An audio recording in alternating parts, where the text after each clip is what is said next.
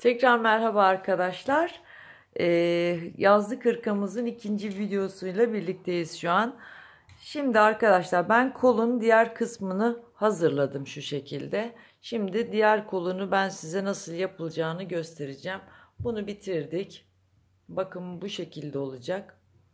Zaten bittikten sonra da resmini göreceksiniz. Hani bitmiş olarak. Öncelikle arkadaşlar kancalarımızla birlikte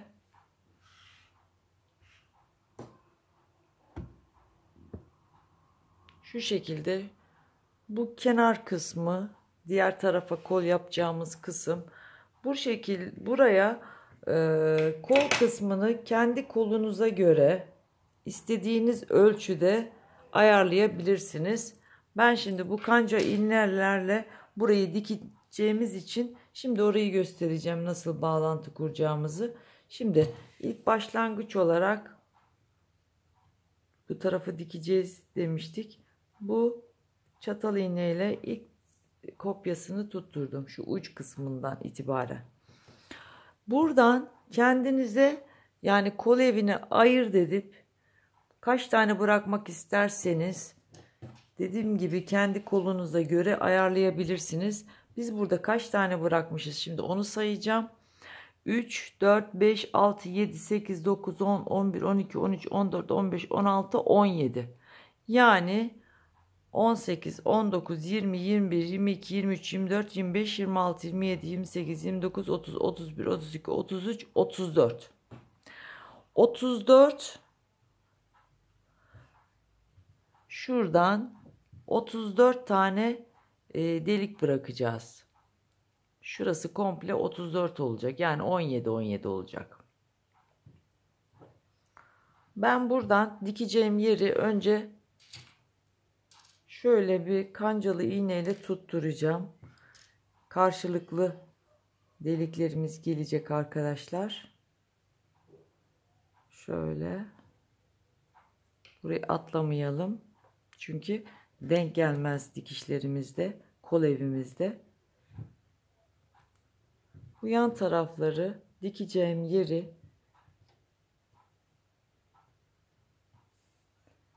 şöyle tutturuyorum.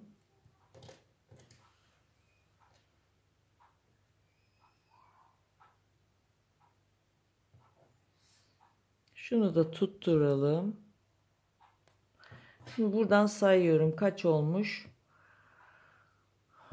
2, 4, 6, 8, 10, 12, 14, 16, 18, 20, 22, 24, 26, 28. Tepede var. 29, 30, 31, 32, 33, 34. Şurada.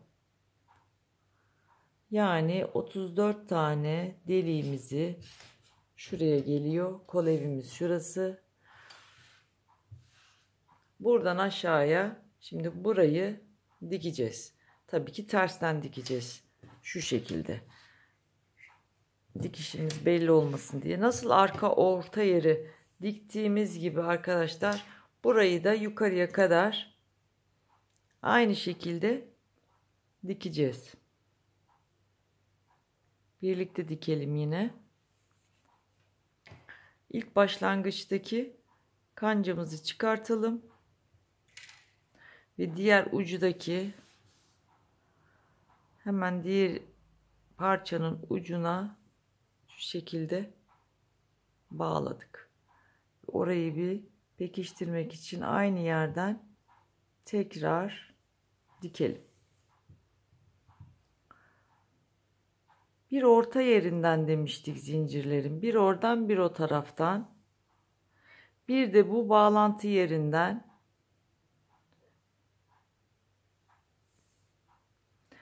deliklerin tam orta yerinden bir de diğerinden şu şekilde sonra bu birleşme yerlerinden bu şekilde yukarıya doğru dikiyoruz.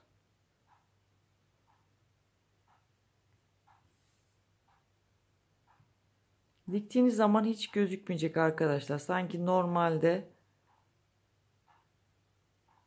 modeliniz hiç bozulmamış, dikiş olmamış gibi olacak.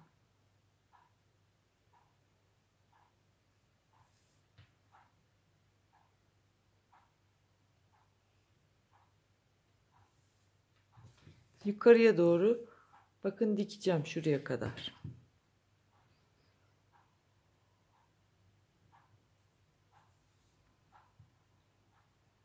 Ben diğer tarafı sizler için hazırladım demiştim. Şöyle göstereyim.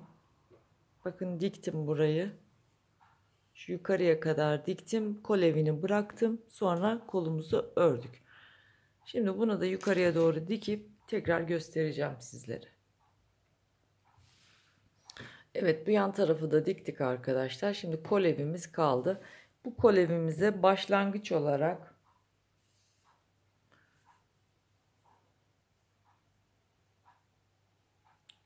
bir zincir çekip hemen bu koltuk altı kısmından buraya ilmeksiz şekilde birleştirdim. Ve şu boşluğa bir iki tane sık iğne yaptım. Biraz gevşek yapacağız. Her zaman dediğimiz gibi bu Hırkamızın e, modeli zaten biraz salaş olması. Şu boşlukların her birine bir iki tane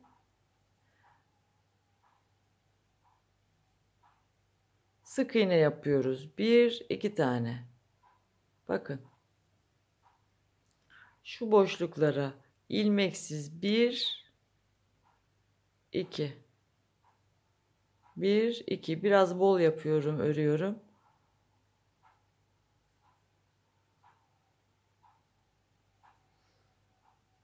Bir iki. Diğer başlangıç yerine gelene kadar bütün bu kenar deliklerinin içine iki tane sık iğne yaparak başlangıç noktamıza tekrar geliyoruz.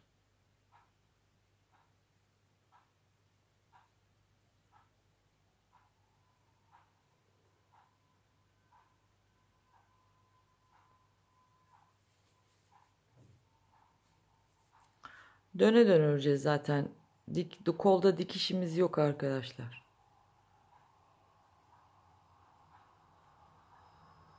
Biraz gevşek bırakarak hırkamızı kol evini başladı.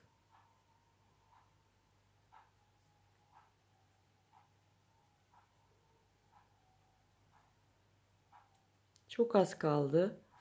Şimdi bu yaptığımız sık iğnenin üstüne kafeslerimizi kuracağız.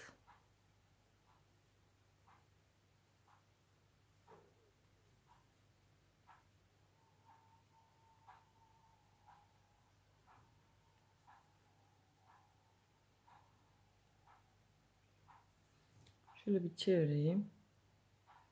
İlmeğim ters gelmesin. Şimdi son yere geldik. Buraya da aynı şekilde iki tane sık iğnemizi yapıp burada bir taneyle başlangıç yapmıştık. Buraya da bir tane yapıyoruz ve tam başlangıç noktamıza burayı şu şekilde içinden kaydırarak bağladık. Burada şöyle göstereyim. Şu şekilde şimdi ilk sıramızı e, sık iğne olarak yaptık. Şimdi üstüne kafes yapacağız. Nasıl mı? 1, 2, 3, 4 tane zincir çektik. 4 zincir çekip ilmeğimizi alıyoruz. Bir tane boşluk bırakıp diğerine bir trabzan yapıyoruz. Bir zincir çekiyoruz, ilmek alıyoruz, bir boşluk bırakıp diğerine bir kafesimizi daha yapıyoruz trabzan olarak. Yani bu şekilde bakın şöyle kafes olacak. Bir zincir aralar bir tane boşluk diğerine. Bir boşluk diğerine. Bir boşluk diğerine trabzanlarımızı bu şekilde kuruyoruz.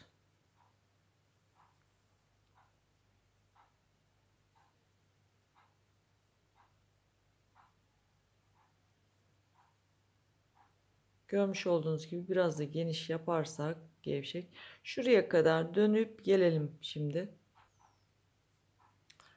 Son yerimize de geldik. Bir zincir çekip şu dört zincir çekmiştik ya onun tam orta yerinden ilmeğimizi çıkartıp burayı bağladık. Burayı bağladıktan sonra burada 1 2 3 4 tane daha zincir çekip milistümüzü alıyoruz. Hemen başlangıçtaki ilk kafesin ortasına bakın şu başları değil hemen ortasına yine bir zincirle hepsinin ortasına trabzanlarımızı yaparak kafesimizi örüyoruz.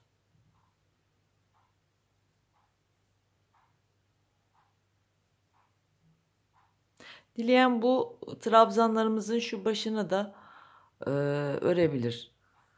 Nasıl işinize gelir, nasıl kolayınıza gelirse arkadaşlar, nasıl hoşunuza giderse öyle yaparsınız. Bakın bir zincir çekip tam orta boşluğa şöyle Şimdi şuraya kadar gelip birleştirmeyi tekrar göstereceğim sizlere. Ondan sonra uzun kolu da istediğiniz uzunlukta örebilirsiniz yukarıya doğru. Tekrar başlangıç yerimize geldik. Burada da son mil üstümüzü alıp şu deliği yaptıktan sonra buraya yapmıyoruz. Zaten burada bu olduğu için arkadaşlar bir zincir çekip hemen zincirin ortasına ilmeğimizi kaydırarak bakın sanki devam etmiş gibi oldu. 1 2 3 4 zincir çekip mil üstümüzü alıp hemen dibindeki kafesin içine yaparak tekrar devam ediyoruz. Başlangıç yerlerimiz, bitiş yerimiz hep bu şekilde olacak. Bunu istediğiniz yere kadar yukarıya kadar uzatabilirsiniz arkadaşlar. Yani ne kadar bol pardon uzun isterseniz o kadar uzatabilirsiniz. Şimdi bittikten sonra bakın ben kaç sıra yapmışım arkadaşlar. Şöyle bir sayalım.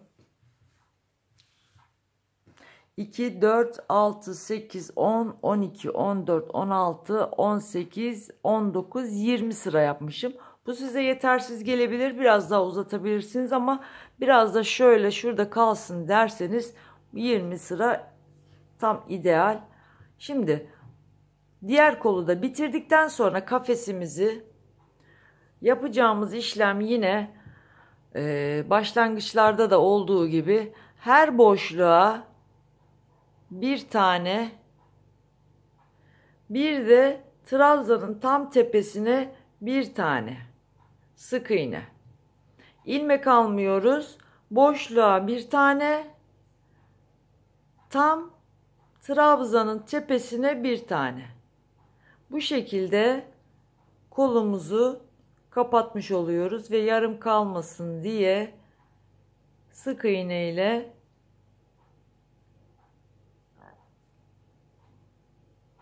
şu şekilde devam ediyoruz. Tam kol ağzımıza gelen yer bu şekilde olacak. buraya kadar bitirdik zaten e, hırkamız tamamlandı. Diğer kolumuzu da aynı şekilde yaparsanız arkadaşlar hırkamız güzel bir şekilde bitmiş olacak. E, bunun burada böyle durduğuna bakmayın giydiğiniz zaman çok güzel ve tam bir yazlık hırka olarak beğeneceğinizden eminim. Bunu isterseniz e, alt kısımlarına Püskül de koyabilirsiniz, e, kirpik de yapabilirsiniz. Bunlar sizin hep tercihinize kalmış bir şey. Hırkamızın yapımı bu kadar. Umarım hoşunuza gitmiştir. Ee, soracağınız sorular olursa da yorumlarda bekliyorum. Hepinize çok teşekkür ediyorum.